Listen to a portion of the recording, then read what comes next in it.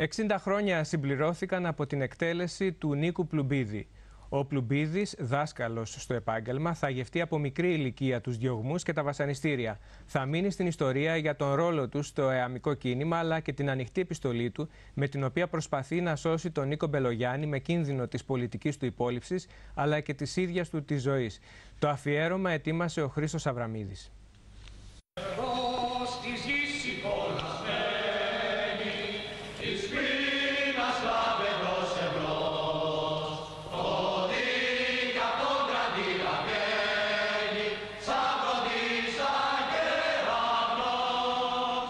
Με την διεθνή στα χείλη του, σύμβολο του επαναστατικού κινήματος, έφυγε από την ζωή ο κόκκινος δάσκαλος, ο Νίκος Πλουμπίδης. Χιλιοτραγουδισμένος ως ολίγη εκτελείται 60 χρόνια πριν στις 14 Αυγούστου του 1954. Εκείνο που δολοφόνησε είναι αυτό το ειδικό κλίμα του ψυχρού πολέμου της εποχής εκείνης. Η σκλήρηση και ολομέτωπη επίθεση ενάντια στους κομμουνιστές και στις λαϊκές δημοκρατίες που ξεκίνησε από το 1950 και μεθοδεύτηκε στην πρώτη, στο πρώτο μισό της δεκαετίας του 50. Θα λέγαμε είναι θύμα μιας γενικότερης ιστερίας ενάντια στο εργατικό κίνημα που απλώθηκε εκείνον τον καιρό. Κρίσιμος καιρός γιατί πεζόταν η τύχη των απικιών κατέρε οι απειακέ αυτοκρατορίες των ευρωπαϊκών δυνάμεων και γι' αυτό αυτή η αντικομουνιστική ιστερία και φυσικά μια άρχουσα τάξη της Ελλάδας που μόλις έχει νικήσει τον εμφύλιο πόλεμο και προσπαθεί διαπυρός και σιδήρου να ξεριζώσει ακόμη και την παράδοση, την ιστορία των ηττημένων.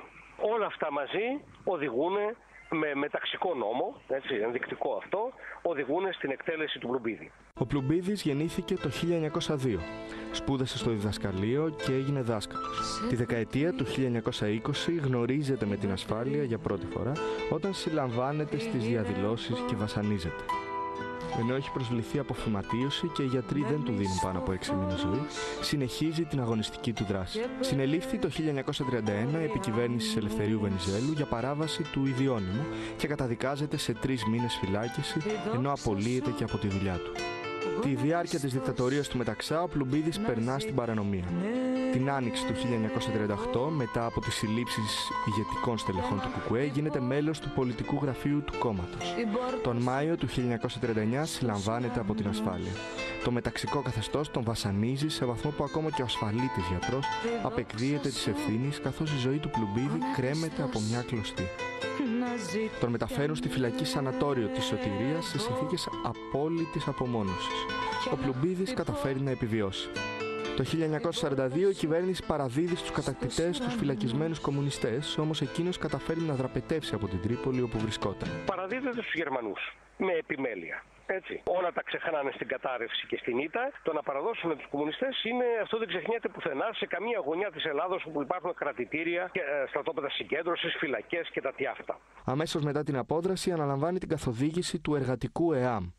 Κατά τη διάρκεια της κατοχής έδρασε στην Αθήνα και το 1943 παίζει σημαντικό ρόλο στην οργάνωση της γενικής πολιτικής απεργίας. Μετά τη μεγαλειώδη κινητοποίηση, ο ελληνικός λαός πετυχαίνει μια τεράστια νίκη.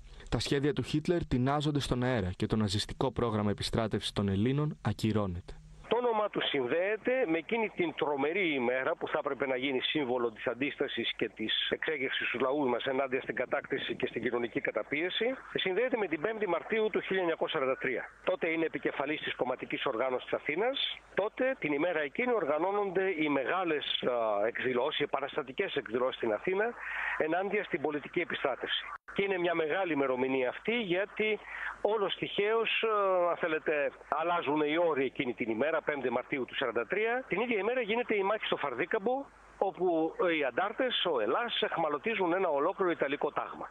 Και αρχίζει το μεγάλο έπος και της ένοπλης αντίστασης. Την ημέρα εκείνη, στο ένα σκέλος αυτής της έκρηξης, στο, αν θέλετε στο σκέλος Αθήνα, ο Πλουμπίδης ως επικεφαλής της κομματικής οργάνωσης Αθήνας επιβλέπει τις κινητοποιήσεις και μάλιστα τις επιβλέπει, συντονίζει και οργανώνει τις μεγάλες διαδηλώσεις αυτής της ημέρας, αιματηρές διαδηλώσεις, γιατί η αστυνομία πόλεων του Εύερτ, ρίχνεται πάνω στους διαδηλωτές μαζί με τους κατακτητές, μαζί με τους καραμπινιέρους, μαζί με ό,τι έχει και δεν έχει η άρχουσα τάξη και ο κατακτητής.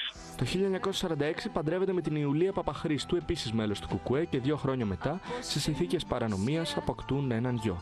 Στα τέλη του 1947 το Κουκουέ τίθεται εκτός νόμου και η ηγεσία του φεύγει για τα βουνά. Ο Πλουμπίδης παραμένει στην Αθήνα και αναλαμβάνει την καθοδήγηση των οργανώσεων του Κουκουέ.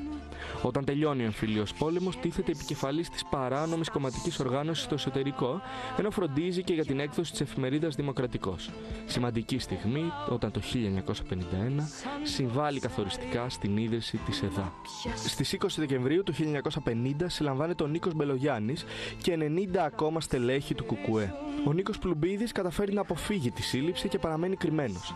Στη συνέχεια, την 1η Μαρτίου του 1952, το στρατοδικείο εκδίδει θανατική ποινή για τον Νίκο Μπελογιάννη και τους συνολικά 8 υποτιθέμενους εχθρούς της πατρίδος. Τις επόμενες μέρες, ο Νίκος Πλουμπίδης στέλνει ανοιχτή επιστολή στον τύπο. Σε αυτήν αναφέρει ότι οι ασύρματοι που είχαν εντοπιστεί και επί των οποίων στηρίχθηκε το κατηγορητήριο ελέγχονταν από τον ίδιο και όχι από τον Μπελογιάννη.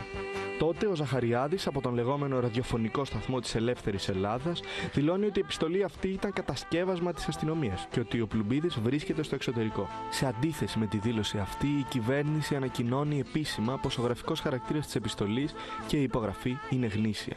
Το Κουκουέ διαδίδει ότι ο Πλουμπίδης είναι χαφιές. Τελικά η επιστολή αυτή, ως ομολογία παράνομης πράξης, δεν λήφθηκε υπόψη από τη δικαιοσύνη, παρότι συνιστούσε σοβαρό λόγο αναστολής εκτέλεσης της απόφασης, κατά σαφή παράβαση της ποινική δικονομίας. Τελικά ο Πλουμπίδης συλλαμβάνεται στις 27 Νοεμβρίου του 1952, πέντε μήνες μετά την εκτέλεση του Νίκου Μπελογιάννη, σε πολύ προχωρημένο στάδιο φυματίωσης. Τον Ιούλιο του 1953 τον καταδικάζουν δις εις θάνατον. Στις 14 Αυγούστου του 1954 μεταφέρεται στο Δαφνί όπου και εκτελείται. Η ηγεσία του Κουκουέ ανακοινώνει ότι πρόκειται για εικονική εκτέλεση, όμως οι φωτογραφίες που θα κυκλοφορήσουν τη διαψεύδουν μακάβρια. Τέσσερα χρόνια μετά ανακοινώνεται η κομματική του αποκατάσταση. Η υπόθεση Πλουμπίδη θα μείνει στην ιστορία και θα συζητηθεί όσο λίγες. Ο Βασίλης Ραφαηλίδης θα γράψει για αυτόν. Σήμερα ο Νίκος Πλουμπίδης κατέχει μια περίοπτη θέση στο πάνθεο των ηρώων του Κουκουέ.